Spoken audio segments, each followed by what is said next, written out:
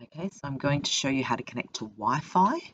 Um, so you're going settings, network and internet, turn your Wi-Fi on, on the head unit. So it's already connected to my phone. So I'm going to choose to connect to our work Wi-Fi. So I just select it, I put the password in and I press connect.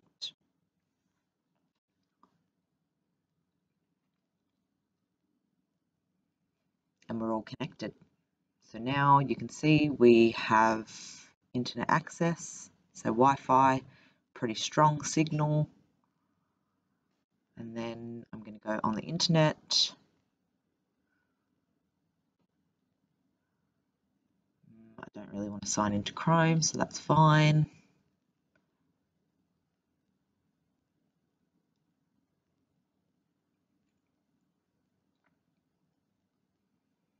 So I'm just going to go to our website to show you.